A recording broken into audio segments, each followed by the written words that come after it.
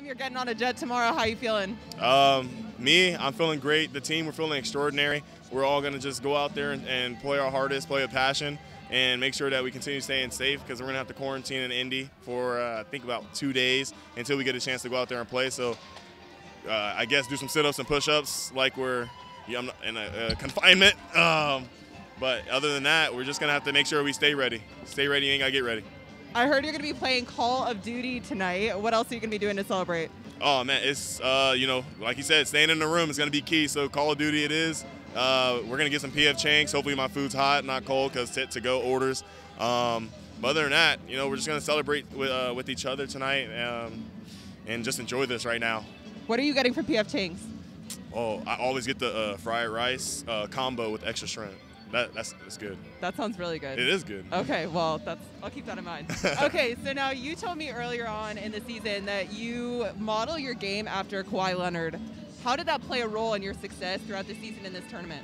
Um, it played the, the, success in everything that we did. Um, TJ Lipwood uh, put everything into me to lead the defense, lead the charge, and Kawhi. I've been watching Kawhi Leonard uh, defensive clips every every game uh, since the season started. Even before this season, I was watching Kawhi Leonard uh, since they won the 2019 Toronto Raptors uh, championship.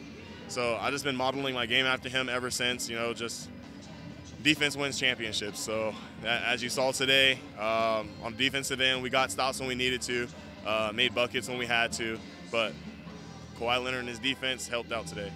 What was the moment from today that you will never forget?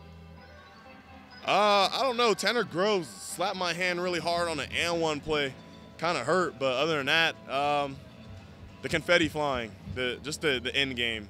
Uh, I, I, brought the Avengers up to my teammates, saying that uh, there's basically gonna be each movie: Avengers, Age of Ultron, Infinity War, and now this is the end game. Now the end game is heading to the uh, heading to the NCAA tournament, and now we got to handle Thanos, and every stone we got to go get so he doesn't snap his fingers.